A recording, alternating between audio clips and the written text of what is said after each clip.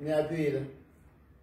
Eh ngingaqali ke ngikhuluma. John, awuvula igate uqala bese ngiyakhuluma. John, nje vula igate.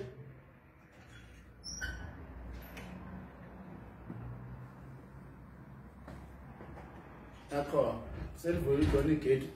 Usengaphakathi. Eh mabhinqa.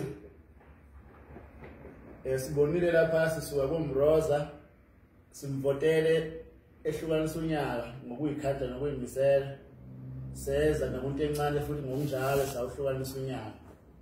Eh kulonyaka ngathi sinezibhadi asibanga nayo ingoma engangena lapha ku top 10 asisukufunzwa ukuthi sivotele ingoma engekho ku top 10 ayivotele ingoma esiyingenile eh lokho ukuthi sinomona sinomona omuhle ngoba eh umona wethu uyabonakala. Siyabanqanqa abantu bethu ukuthi bavote ukuze kuhlukanise unyaka kodwa asisukuphoqwa ukuthi asivotele ingoma engekho ku top 10 ingoma engene ku top 10 futhi nje kuyasilulaza ukuthi kuthiwe sinomona. Sesizokhuthala kanjani phela manje ukuthi eh sithi akuvotwe sekuvela ukuthi sinomona?